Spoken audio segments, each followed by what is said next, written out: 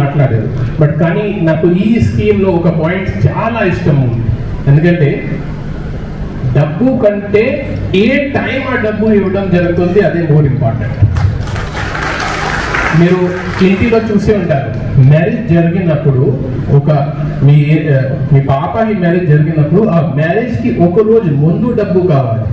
Marriage అయిన తర్వాత మీరు కోర్టు డబ్బు కూడా ఇస్తే దీనికి ఏమి లాభం ఉండదు.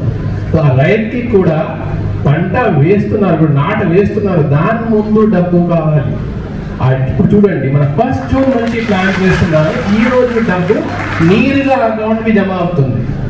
నేను చిన్నప్పుడు ఏం చూశాను ఫార్మర్స్ చాలా ఎఫెక్ట్ అవుతున్నారు ఆ డబ్బు కావాలి వర్షం పడుతుంది మాన్సూన్ అంటే ఆ వారంలోనే నాటు వేస్తేనే క్రాప్ సఫల సక్సెస్ఫుల్ అవుతుంది లేకపోతే ఫెయిల్ అయిపోతుంది.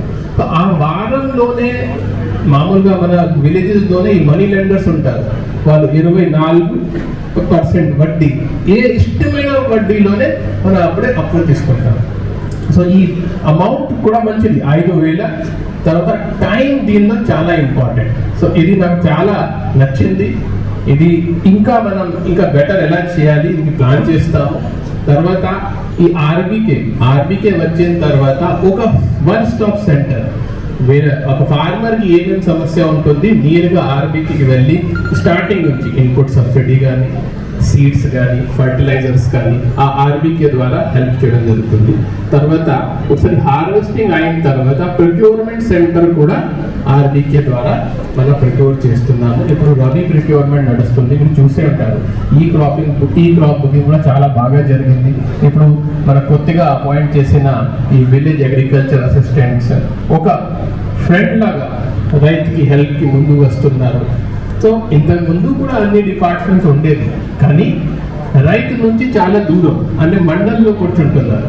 సో కొంతమంది ఎవరికి ఏదో సిఫారిష్ ఉంది లేకపోతే పరిచయం ఉంది వాళ్ళు వాళ్ళ దగ్గర వెళ్ళి ఇవన్నీ తీసుకుంటున్నారు. కానీ ఇప్పుడు మన ప్రభుత్వం నుంచి ప్రతి గ్రామంలో ఒక ఆర్బీకి పెట్టి వాళ్ళకి ఏం కావాలి ముందు ఆలోచన చేసుకొని proactive వాళ్ళ దగ్గర రైట్ దగ్గర వెళ్ళి వాళ్ళకి హెల్ప్ చేయడం జరుగుతుంది.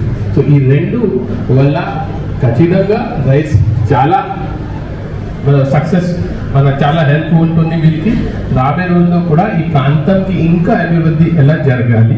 మీ అందరితో మాట్లాడి ఒక యాక్షన్ ప్లాన్ తయారు చేసుకొని ఖచ్చితంగా రాబోయే రోజుల్లో ఇంకా అభివృద్ధి చేయడానికి పనిచేస్తాం థ్యాంక్ యూ